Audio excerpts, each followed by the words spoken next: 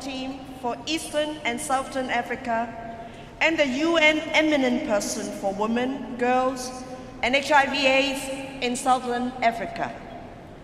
She has been involved in the response to HIV/AIDS from the start of the epidemic in Botswana.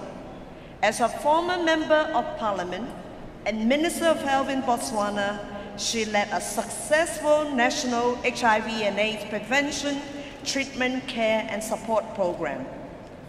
As chairperson of the Southern African Development Community, or SADC, and African Union Ministers of Health in 2005-2006, she provided leadership in adopting the SADC Malaria Eradication Program, the SADC HIV AIDS Plan of Action, and the Maputo Plan of Africa on Sexual and Reproductive Health and Rights. She funded the Botswana chapter, chapter of the Society of Women and AIDS in Africa and represented Eastern and Southern Africa on the board of the Global Fund. Dr. Tlou is a former professor of nursing at the University of Botswana and a former director of the WHO Collaborating Center. We are very proud of you, Sheila. The WHO Collaborating Center for Nursing and Midwifery Development in Primary Health Care for Anglophone Africa. Sheila has received several awards, including the Botswana President Order of Honor, the Florence Nightingale Award from the International Red Cross Society, and the Trailblazer Woman Leading Change Award from the World YWCA.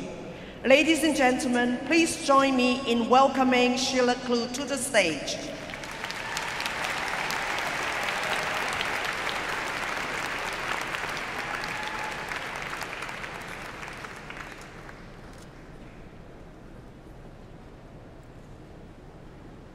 Thank you very much, Margaret. Uh, ladies and gentlemen, after all that, um, and I know already the time is up, I'll try to be as brief as possible, but I do have to say I am so happy to be back here in Washington, D.C. I used to go to school here at the Catholic University of America.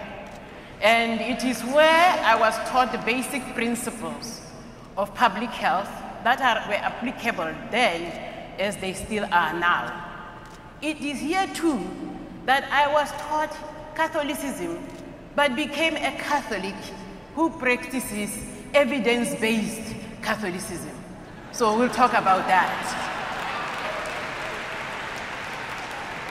I want to recognize the people who went before me. I mean, after that performance, what more do you want? Nothing. However, being an actor, I know there's something that didn't happen yesterday. And uh, as an African, you know, I've missed it. And I know as black people, black people who are here, they've missed that last night. We just did not have enough singing.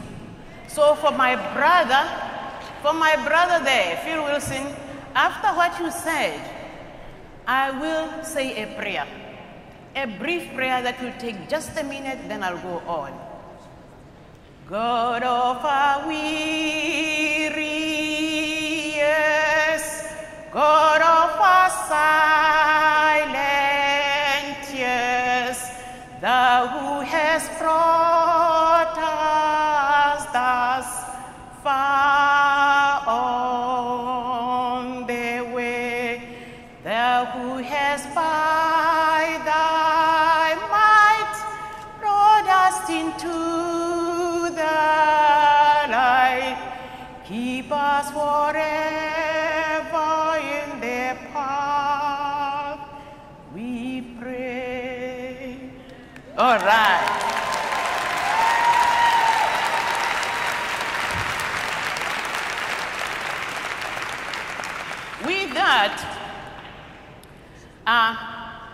let me, usually the slide, I want to first recognize our ministers who are here. You know, the ministers from Eastern and Southern Africa, the ministers from South Sub-Saharan Africa who are here, as well as the Deputy President of the Republic of South Africa. This shows leadership with a commitment And we are very proud of you. Because only when you are here can you be able to interact and really know where the epidemic is going. And therefore, we don't have to do a lot of advocacy. It's right there. This slide normally goes at the back. But, you know, I've addressed conferences before. The nicest I ever addressed was the ICASA in Kenya, where I simply told people, this is just, I, I left the professor at the hotel. What is before me, before you, is a village woman. That way I was able to go anywhere I wanted. Why? Because I was a civil society person. So on that point, I want to salute all the members of civil society who are here. I was brought and bred in civil society, and I'm saying keep on. We are not there yet. Keep on civil society. And indeed, this presentation, which I'll have to go through very quickly because in any event, Anthony Fauci and uh, uh, Hillary Clinton and the other speakers really uh, put uh, you know, a lot on our table. These are the people who donate, who, who, who contributed. I was so excited getting this invitation that I sent it to everybody, including Facebook and said, What should I do? And all my 5,000 Facebook friends contributed, members of parliament, everybody. I could write a book. So I'm just waiting for Peter Piot to teach me how to write one. Is that thing? Yeah. So, uh, but I want to recognize two new keys on the block. The Global Power Women Network Africa, which is uh, newly formed, and I know our, the, the, the president is right here, Dr. Thokozani Khupe from Zimbabwe. This is an organization made up of members of parliament, ministers, and all those top women in the continent who are now going to work with the African Union, our presidents, to ensure advocacy, to ensure that everything that was talked about here, that country ownership, shared responsibility, mutual accountability, is actually realized. So we see them as a very powerful uh, organization. And of course, the Pan-African Positive Women's Coalition, an affiliate of ICW, which is to be launched here, which really will now synthesize the problems and the needs of the African women and be able to work with the African Union uh, Commission to articulate the needs of HIV positive women in the continent of Africa. That map has already been shown. I won't go into detail into it. It does show how affected we are. However, I must also say that that map also shows that people are alive. You know, it could be actually whiter, meaning that the people have died. People are alive, they are on ARVs, and we want them to die of old age, just like everybody else. We have done a lot. We have done a lot in Africa. And I'm not going to go through all the things, but we have already, uh, to simply say that in less than a decade, HIV treatment has actually increased more than 100-fold. And yes, the orphans and vulnerable children are now receiving basic education, health, and social protection. We have partnerships, but more and more, Africa is owning the epidemic. Actually, ownership of the epidemic is not a new concept. You know, I still remember 1996, the Vancouver conference where it was said hope. But for us in Africa, we knew that, well, it probably wasn't hope. With the prices the way they were, when the prices sort of reduced, the scientists were saying, ah, it will never be done in resource-limited settings. They don't have the scientists, they don't, they don't have the, the facilities and all that. And uh, I'm glad to say that in 1998, after the ACTG 076 study, we talked to our president, Mogae, who is here with the champions for an HIV-free generation. And he said, it was just one study done in Thailand. And we told him that it has been found to reduce mother-to-child transmission. And he said, if he can save our children, we'll also do that. That was leadership, bold leadership, because at that time, his counterparts were still wondering whether HIV even causes AIDS. Now, here was a man who was saying, we are rolling out. And in 1999, Botswana started the rollout of services to prevent mother-to-child transmission, the first country to do that. When I became Minister of Health in 2004, my predecessor had already rolled out enough that mother to child transmission was going down. But between 2004, because now we're able to really roll out even to the rural areas, we brought down mother to child transmission from around 35% all the way to less than 5% within four years, showing that yes, it can be done in Africa. As the Honorable Son of Africa once said, yes, we can. And we were able to show that yes, we can. The same thing happened with ARVs. Botswana by 1996 had rolled out to more than 8% of the population under the old uh, WHO guidelines. So that brought about now an impetus in Africa where, you know, uh, and of course with the partners, we were there with the partners, but I must say that even before PEPFAR arrived, partners such as the Botswana-Harvard Partnership were there.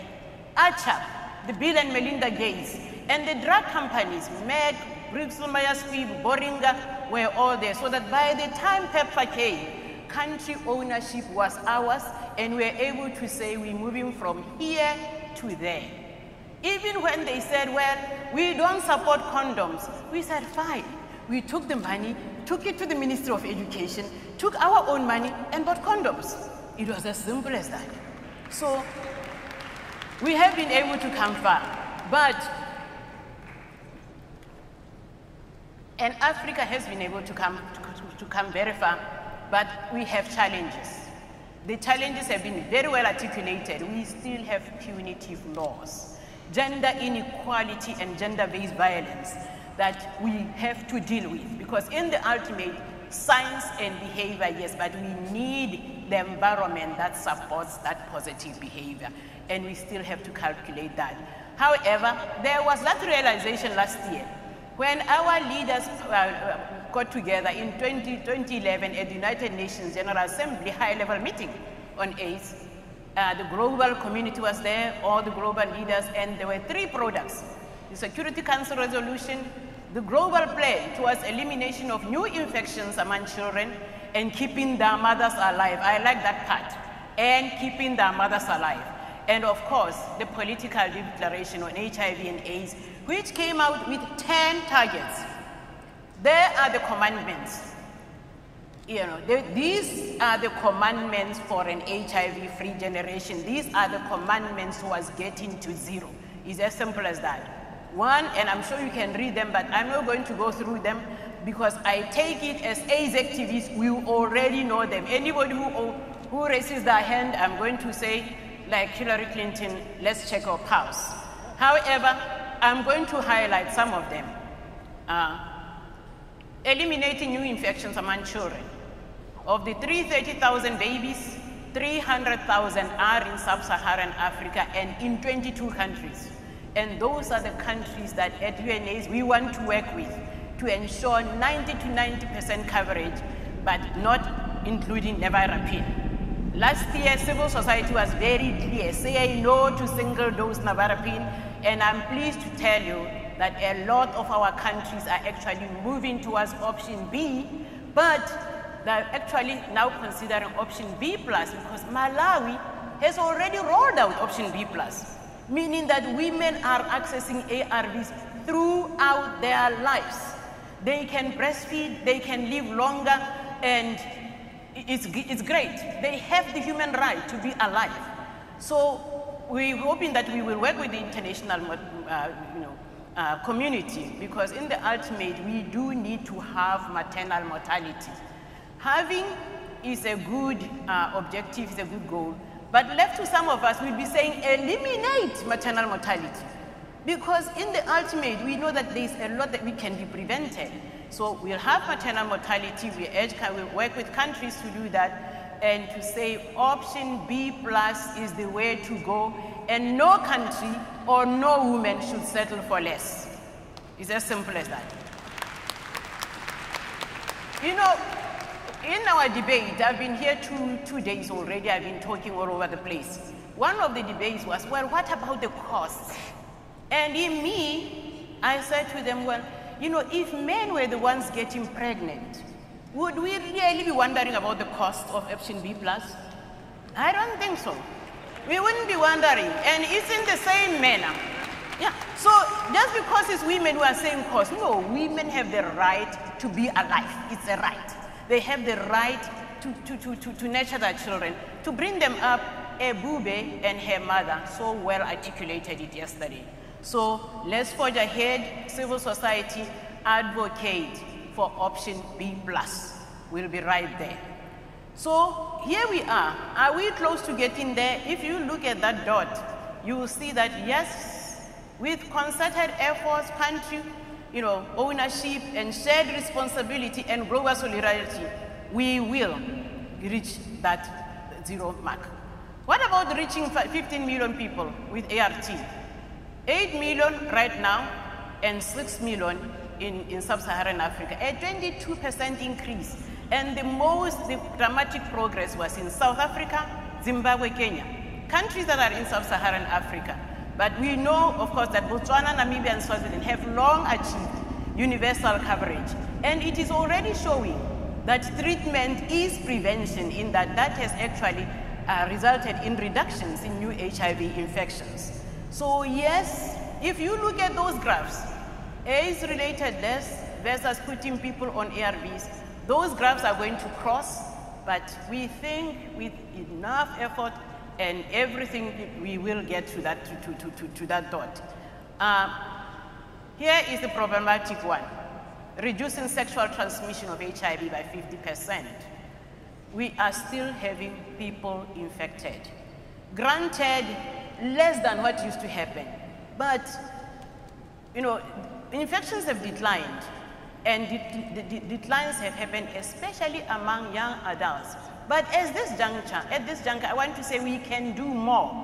If we can have youth access, comprehensive sexuality education, that's the way to go. Young people, young people have the right to decide when, how, and with whom to have sex. And we are depriving them of that. So that now we do have young people who are pioneers, who are champions, who are really saying we are going to crowd out AIDS and claim our rights. And as adults, the adults who are here, it is high time we accept that young people are not the leaders of tomorrow. They are the leaders of now. Yeah. So where were we? We were not online to achieve this. I really don't think so, but with concerted efforts, maybe in 2015 we'll be able to assess where we are and to say we are nearly there, but we want to be there. But we have to remember that much as we are saying treatment is now prevention, we cannot treat ourselves out of the epidemic. You know, here we are. That line is going completely parallel to that dot. But we'll bend it. Let's ensure together we bend it a little bit, eh? We'll get there. Priority actions, we have already talked about that. Know your epidemic, know your response studies. UNAIDS is, is, is working with countries on these studies. You know, there is something about evidence that hits you right in the face, bam. You can't ignore it. Any one leader who says, oh, we, we don't have homosexuality, no. We simply say, well, here is the prevalence among men who have sex with men. Here is the prevalence among sex workers. You can't dispute those facts. We have to, so that we really need now to scale up. We need the investment framework, we're using it as a tool to scale up all those um, services. But not only that, to ensure that in the scale up, we have other aspects. For example, critical enablers, access to housing, access to education, zero tolerance for gender-based violence, gender equality, things like that. So we, we, we, we, we, we need a lot of work on this, on this one. But we have to ensure the investment framework is really, really says that let's look at what is working and scale it up. And let's reduce what doesn't seem to be working. With the little money that we have, we can be able to do that.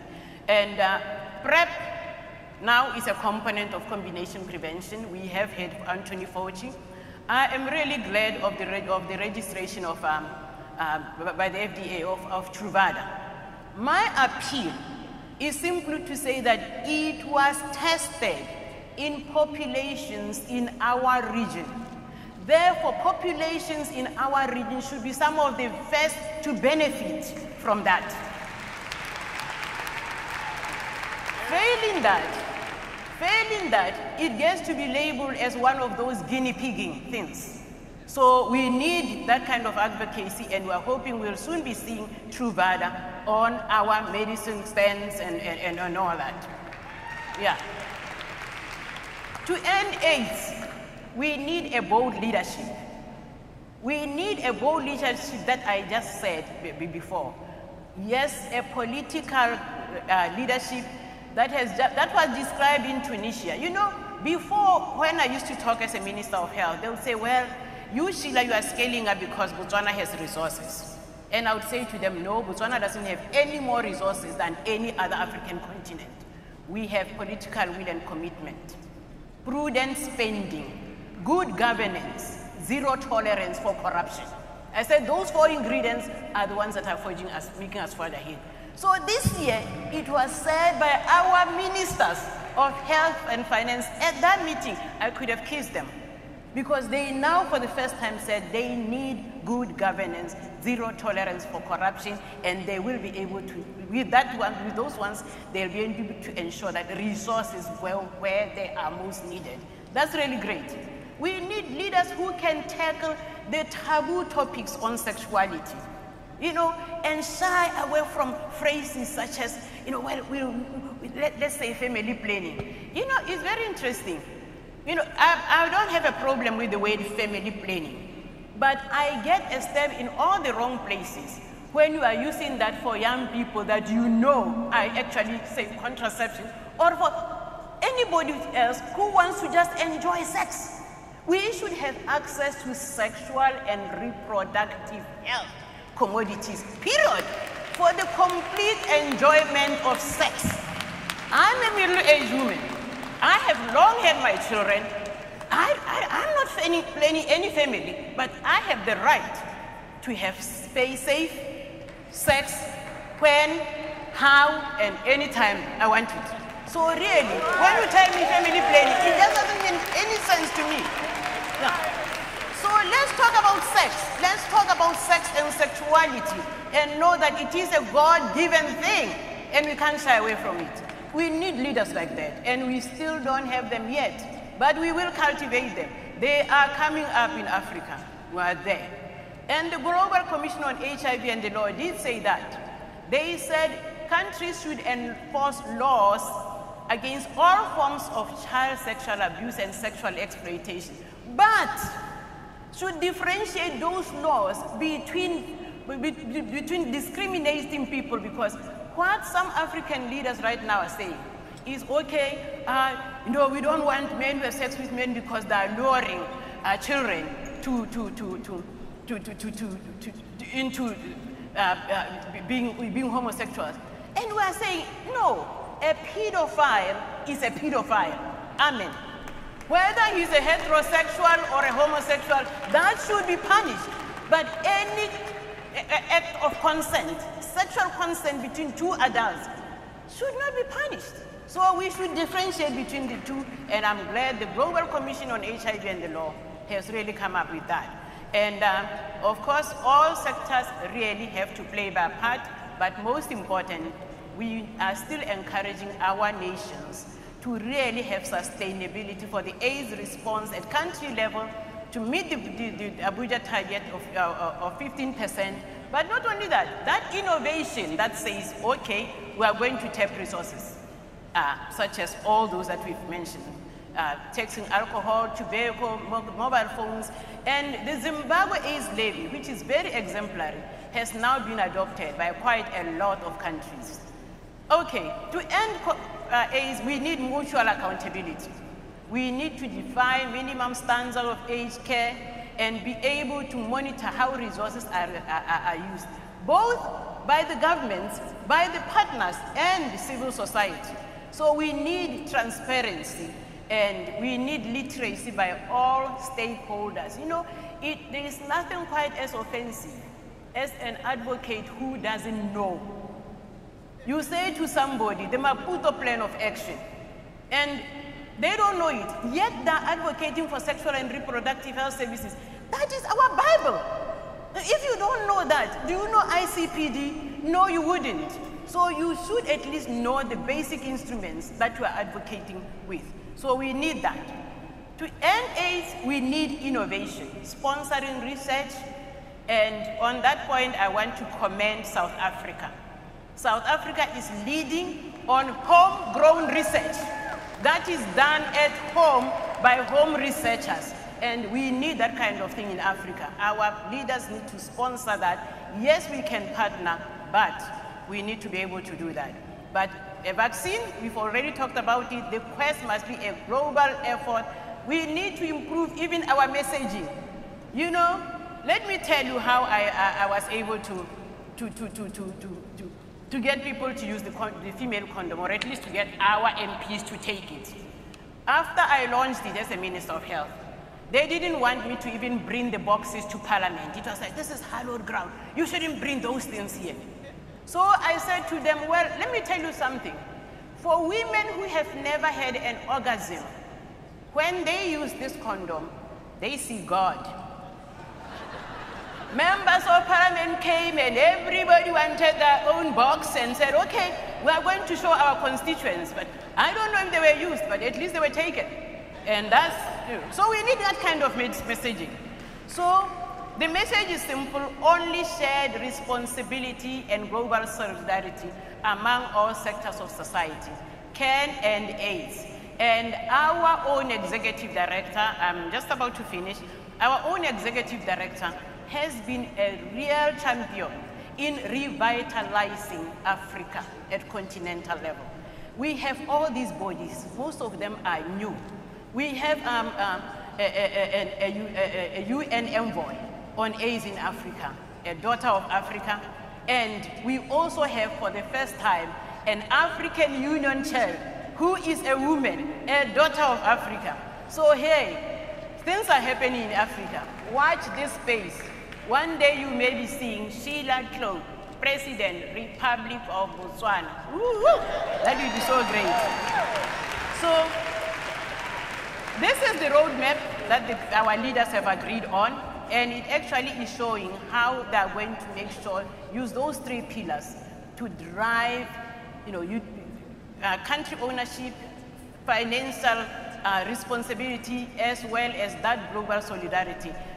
For the three diseases, AIDS, TB, and malaria. I won't go too much into them because people are already going in. But shared responsibility and global solidarity simply is saying, people have already said it, that the, the, the developmental model of donor and recipient is changing. We need to identify our own evidence-informed policies, find out how we're going to source them, put funds in there, and then get the partners so that they come in as partners. At the same time, we need more funding. Uh, no country can do this alone. We are not saying that countries should be now be left to their own, on their own. No, and I'm glad of what um, Hillary Clinton just promised us. You know, the country of PEPFAR has always been the one that stood by uh, the, the, developing uh, uh, countries. And now we have more partners. This should really be, be, be, be that. So with all that, we, um, um, let me just end by saying Sub-Saharan Africa remains the center of the epidemic. Our civil society is very dedicated to the 10 targets and they say it should receive the proportional focus and resources. Yeah. And uh, with all this, we will achieve our vision of zero new infections, zero discrimination, and zero AIDS-related deaths. Thank you very much.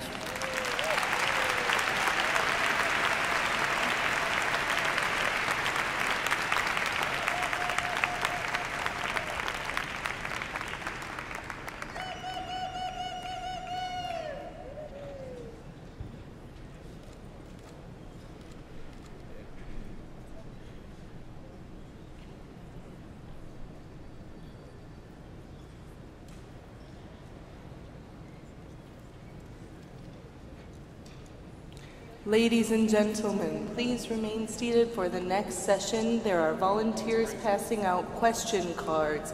If you're here to see the session that starts at 11 o'clock, there are volunteers passing out question